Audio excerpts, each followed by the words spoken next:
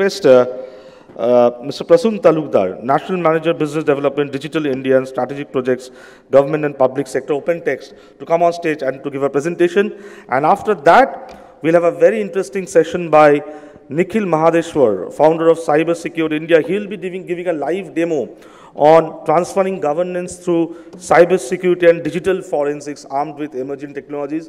And I'm sure both these presentations will be as exciting as the inaugural session of day two. Over to you, Prasun. So when the slides are coming up, so uh, first of all, uh, good morning and uh, warm welcome to all. Uh, first of all, I'd like to thank uh, Department of Science and Technology and uh, SCDC, uh, Mr. Abhijit Agarwal and his team, and the APAC networks, of course, to give us an opportunity to, you know, share our point of view on the digital transformation uh, in government and public sector. Uh, yesterday, uh, you have seen, uh, you have probably gone through one of the presentation from our side by my colleague uh, Praveen Kulkarni about the uh, cyber security solutions and the, you know, the, the, its impacts in the, you know, the government and the public sector. So today, uh, I am going to uh, talk about more on our point of view about the interpretation of the digital transformation in government and public sector. And we'd like to touch upon you know, some of the aspects where what we are doing in India with various uh, government departments and government customers. So uh, probably many of you uh, may be or may not be aware that uh, OpenText uh, is actually, earlier it was Microfocus. I think Microfocus is more popular name in the industry. So we have become OpenText very recently. There's a name change and there's a combination of two, two organizations together. Uh, so far, you know, uh, from yesterday, the whole day, and till today, to, till today, uh, there are a lot of interesting uh, and the insightful discussion has happened, you know, from various uh, executives and the officers from the government and the industry. So I just try to kind of capture few, uh, you know, bullets, which is, which is my takeaway, because it was very insightful and, you know, good learning from us as well from the industry. So one of the things which actually came up is the AI, uh, artificial intelligence becoming uh, becoming core to the you know to the various operations and the initiatives of government and enterprise, and that is where it has got a uh, huge impact you know on the industry today. And second one, what also came up is that you know in terms of uh, India, we have seen the you know huge penetration of uh, IT and the digital into various segments. But now I think government is more focusing on you know, more proactive governance so that you know, nobody is left out in the, in the citizens in terms of the different service deliveries. So that is a proactive governance. And uh, privacy and the you know, cyber security was another discussion point. You know, today also morning we have heard many speakers was talking about its impact, its importance, and you know, uh, one more announcement also by uh, Abhijit Saab in terms of coming up with a new another conference on that. Uh, another one also came up is that uh, while there are uh, you know multiple platforms uh, which has been developed in India for various departments, various ministries, uh, starting from you know uh, Indian Railway Reservation Center or maybe Ayushman Bharat, CoWIN, UIDAI, income tax e-filing, and many more. but I think uh, Abhijit sir has mentioned one thing is that how this application usage can be made simple for the users, whether the lighter applications or the simple applications. Simplicity is probably one of the things which I have seen probably the importance for us for the discussion. Now, with this uh, keep in uh, background, uh, just like to share our point of view, uh, what where we are today and what is the future is looking up, uh, looking up in terms of the whole uh, you know perspective today. Now, if you see that we have so many platforms which is being developed by the government of India today and also in the state level. And like, you know, income tax, I just mentioned about railway reservation or CoWIN app and many more, right? Now, if you see that is actually the, uh, whether it is a government organizations or enterprise, uh, everybody is becoming a software co company, software organizations, because things are driven by software. And that is where it is finally getting into a mode where service delivery becomes at the speed of digital. So there's a lot of expectation, a lot of demands will be coming up in next couple of years. And definitely, finally, uh, every organizations or every government department is becoming an ecosystem of digital uh, components, right? So that is what become very, very important.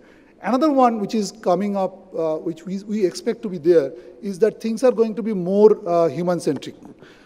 India is one of the youngest country today in the, in the, in the world, and we have probably 40% uh, population will be age of 35 by 2030.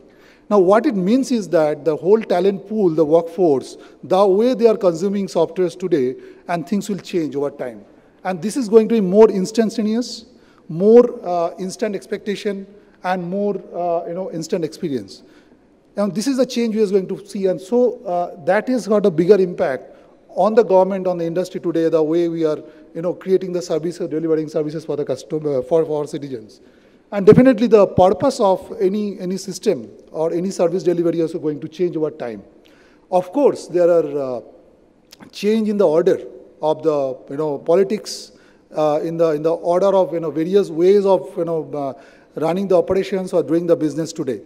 Uh, climate change, I think, has got a bigger impact uh, into, into whatever we are doing today, whether it's the enterprise and the government, right? So sustainability, uh, greener power, you know, green initiatives. We have already cut trillions of trees, right, because of uh, whatever reasons, you know, development in the, the name of development.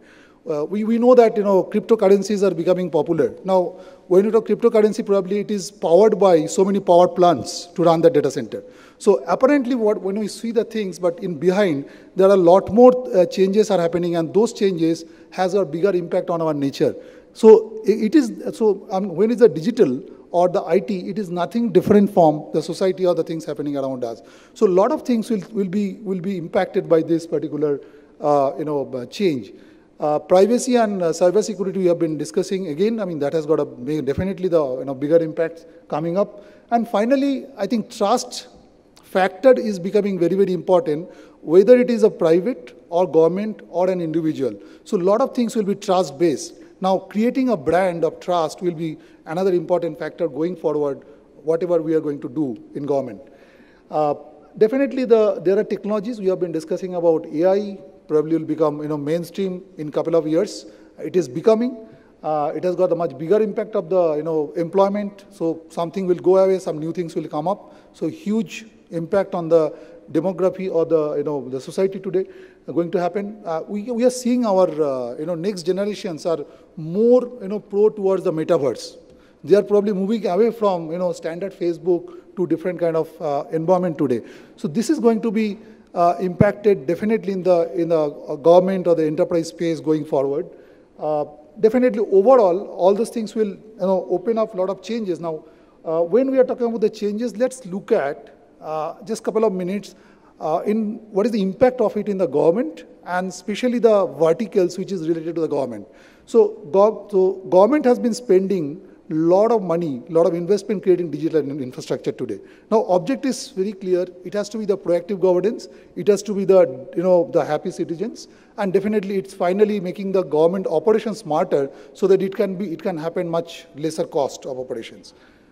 Manufacturing, just in case manufacturing is something uh, which is, uh, you know, uh, demand today. We have seen Ukraine war and which has impacted the whole supply chain. So this is going to be another area where we'll find that information and automation is going to, uh, you know, create a lot of opportunities or the new opportunities in front of us. Financial services. Uh, India is aspiring to be uh, $1 trillion economy by 2030. So that itself shows with the UPI and different you know, uh, payment app, uh, you know, bank account for all, uh, financial inclusion, those things coming up, and that actually is going to trigger a lot more leverage of informa information or the, the automation or the AI, you know, in coming future. Uh, life science, uh, we have seen drug research, drug discovery is, is actually leveraging analytics and the big data today and definitely IML uh, is also there. We have seen, uh, you know, the re very recent example of, uh, you know, COVID vaccine being, uh, you know, developed within a, with a record time, right? We have never seen, you know, within a two years or one and a half years time, you know, medicine vaccine was available today. So this is another area where, uh, you know, information and analytics is going to play a big role. Uh, healthcare, I think, Pillai has mentioned about uh, how the healthcare is getting transformed with using the technology, and there are a lot of policy making things are also getting uh, kind of bridge, and to make sure that you know uh, whole healthcare system is seamlessly integrated. But another point is that you know today uh, government is probably trying to reach out to the masses where nobody is left out as per the care healthcare is concerned, right? So tele, teleconsulting, telemedicines, those things are again driven by, uh, you know, the, the information technology or the analytics uh, or the automation. Uh, telecom, we have seen India is taking a lead in terms of the 5G standards, uh, which was never thought of. Uh, space research, we have seen one of the, you know, uh, one of the largest producer of the you know launch of satellites today uh, in the world. Now these are the things that you know driven by again uh, you know IT and the automation. Uh, energy, uh, in the power sector, there are a lot of, you know, lot of changes, lot of transformation is happening on smart grid, greener power. So moving from coal-based power plant to greener power. Now that is where we think that again the smart grids, uh, you know, IoT or the automation is going to play a lot of role in terms of implementing those initiatives going forward. Uh, transportation, definitely uh, another area where you have the traffic control system in the city or it is a, you know, uh, where the multimodal transport system are, you know, triggered by the technology itself. Uh, you talk about the airports today, airlines. Now, you go to the airport today, we, talk, we, have, we have seen the new initiative of DigiYatra, where is a frictionless travel. So you don't need to touch uh, minimum uh, points when you are entering the airport to the boarding the flight. Uh, same thing happens on probably the railway uh, system as well. We see, I mean, there's a IRCTC as becoming, you know, uh, improving every every year with a new kind of services and the giving a different kind of experience to the you know passengers. So these are the these are the things are now going forward. Probably have more and more opportunities will be coming up. New possibilities will be coming up for us. At the same time, new challenges. Now, uh, let me just give you. Uh, you know, a few examples uh, you know, how uh, we as an organization, OpenText, is working with some of the Indian customers, and they are probably the uh, some of the leaders who are taking those initiatives, which is coming up probably next uh, few years, but started happening today in our country as well. Now, uh, if you see that from the from the right side of it, uh, it is it is the you know quality of application delivery. Now, quality of application delivery is very very critical because that will that will actually help to adapt the applications on mobile, on portal by the citizens or the users, right? And that is where I think uh, you have seen the examples of, uh, you know, income tax e-filing. That is one of the uh, things everybody is, I'm saying that most of the people are being touched because we file our returns, you know, every, every year end of the, that these applications are tested for that number of users so that it doesn't fail, right? It, the site doesn't crash. We know the you know, examination applications today in various states. The day the you know, result declares, that is the day you know, site crashes. But why it is happening? Because applications are probably not tested for that you know, workload or the, the user workload coming on that particular day. So it is important to you know, do the testing. Uh, good news is that you know, uh, government of MP uh, they also have started, uh, created a center of excellence for testing, and that is where we are also partnered with, with government and uh, working with uh, Abhijit sir team. Uh, GSTN is another example. I think they do their application testing every 15 days because it is not a question of, you know, checking your application is working right or wrong once before the rollout. It is actually happening you know, regular basis because there are a lot of policy changes, a lot of changes happen in the application, and then you have to do the whole testing so that the things are on track or not. Uh, coming to the uh, you know smarter and the secure digital operations. So uh, we talk about uh, customers like RailTel, uh, CRIS, which is a agency for the Indian Railways IT management services, national informatics centers. So these are the these are the organizations where we have helped them to set up their security operations, and we are also helping them to run their digital operation, the IT operations today, right? C-DAC uh, they, are, they have set up their own security operations for their internal purpose. They, recently, we have also uh, partnered with them and helped them to develop that particular, uh, particular setup. Uh, Smart City has been a you know, uh, good, you know, great success story for us across the country. Almost 70% smart cities, uh, we actually help them to you know, create the digital operation centers, security operation centers, to manage their entire infrastructure, which is IoT and IT, uh, which is deployed across the, across the city. So that is where, you know, we have been, we have been working on in the, uh, many customers uh, in India. Uh, all the three armed forces. So they, they, their unified communication and the uh, you know, secure network, uh, which, is, which is basically, uh, they have created a universal network for all the forces by which you, they communicate uh, you know, for different uh, secured messaging and the informations. So we help them to, supported them with our technology to build up that particular network with our security solutions and the digital operation softwares business efficiency and the user experience. I think when it's a business, it, it's definitely related to government and enterprise both.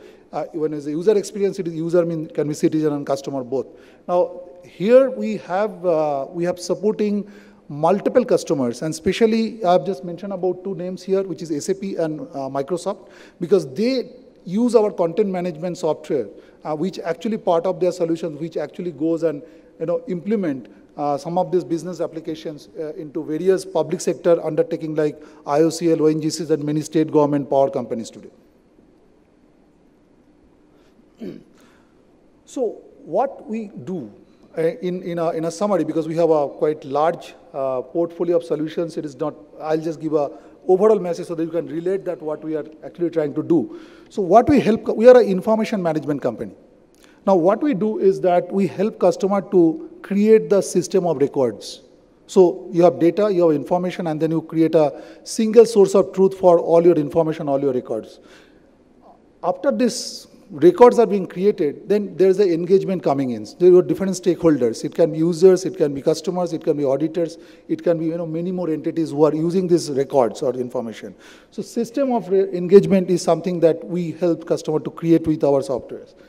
Next level is definitely the you know, uh, system of insights because all information, all records is finally to, to get a, you know, uh, get a insights by which you do take some decisions, by which you uh, uh, operate your systems, operate your business. So that is where it's coming in. Now, how we are doing it? By build, automate, connect, and secure, predict, and act. So there are different, uh, you know, different solution sets coming from the application delivery to application modernization, uh, to business network, digital operations, and then definitely the cyber security side where we help customer to uh, secure their uh, data application and infrastructure and, and definitely the content management and finally the uh, giving the experience, digital experience for the uh, citizens or the, or the customers.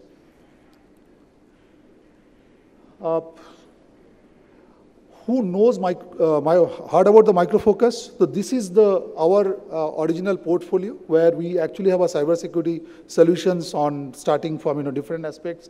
Then there's the application uh, delivery solutions, which is more of a DevOps and you know uh, and the application quality uh, quality applications uh, softwares. Then digital operations, and then definitely modernization of the applications are analytics. open text coming in, we have another uh, set of solutions coming in, which is primarily the uh, smarter information, which is the content management solutions, then the smarter experience, the digital experience, and definitely the smarter network. Uh, I'm just uh, probably just touch on a few things where we can relate. So content management is something which is, uh, you know, is being heavily used in you know, different land records, land reforms uh, projects, or even a Minister of Finance, or maybe, you know, organizations who deals with a lot of, uh, lot of records. Uh, smarter experiences, digital experience is becoming uh, one of the uh, important things today because whenever we deploy an application, you want to see how uh, the user, the citizens are, you know, uh, taking those applications, they're using the applications. So this can be a customized or the personalized kind of experience can be created for the for the customers or for the users or the citizens today. definitely, there are uh, cyber security, we have already spoken about. Uh, smarter applications, again, uh, this is the you know DevOps and the testing uh, testing solutions, which is being uh, used by many governments today. Smarter digital operations is primarily your IT service management and monitoring your data center, cloud, and definitely you have a lot of AI-based operations today, which is which is a new buzzword in terms of the IT IT operations management. And definitely the analytics, uh, AI, ML we have been discussing. So this particular uh, uh, solution actually helps customer to have the data warehouse and at the same time with the AI, ML uh, layer coming in, helping customer to uh, you know, get the insight out of your large data sets. Uh, this is uh, this is you know open text as an organization. So I'm not getting into the details of it. It's a it's a you know uh, we have large pre presence in India today. Uh, we have 6,000 uh, people for the R&D center in Hyderabad and Bangalore. Uh, we are 20 years in this country, and this is also in, in line with the Make in India initiatives of Prime Minister's office. 70% central central ministries are today using our solutions, great reference. It probably giving a lot of confidence that what we can do for uh, many customers. Smart city, I've just told that it's a big uh, case studies today for, for us in India and it becomes a reference for, for our global customers as well. Uh, in terms of uh, state, different states, I think we are uh, supporting a lot of state data centers, a lot of SWAN projects in various states. So that's what from my side about uh, you know, open text and our solutions. So I'll be happy in case any questions you have now or I can be uh, around. Thank you, uh, Prasun Talukdar from the Open Text. I request Mr. Prasun to come on stage for once. Uh, and I request uh, Mr. Kiran Anandam Pillai from the National Health Authority if you can come on stage for once and hand over a small token of appreciation to Mr. Prasun uh, Talukdar. A huge round of applause for uh, Mr. Prasun and Open Text. Thank you so much. Uh,